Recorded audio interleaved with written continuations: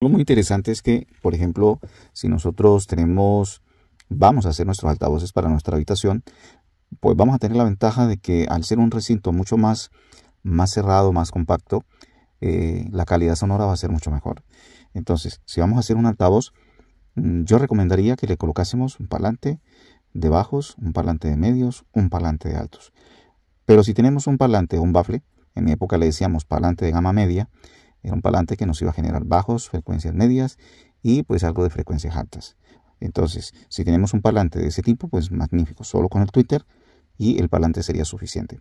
Pero si nuestro parlante es solo de bajos y le ponemos, por ejemplo, un Twittercito de estos que genera unas frecuencias bastante altas, vamos a tener un faltante, va, a haber una deficiencia ahí en algunos instrumentos musicales. Y por más que tratemos de ecualizar, eh, de pronto no nos va a dar el sonido que nosotros queremos.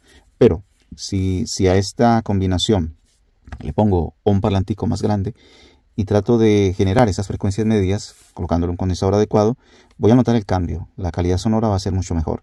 En los recintos cerrados se escucha mucho mejor, por ejemplo en una habitación. O le puedo poner uno un poquito más grande como el que, como que tengo aquí, este y este, y el sonido va a ser fenomenal. Recuerden que este tipo de conexión, si voy a poner tres vías, la conexión real eh, o que se necesita para este tipo de, altavoces debe ser una conexión en paralelo. Jugamos con los condensadores para que de esa manera a la hora de hacer la instalación nos dé la impedancia que necesitamos. Y no se nos olvide que para poder hacer esa instalación necesitamos que cada componente tenga la impedancia similar a la impedancia mínima que maneja nuestro equipo para que no vayamos a tener ningún inconveniente de que se nos dañe o se nos queme una salida de nuestro amplificador.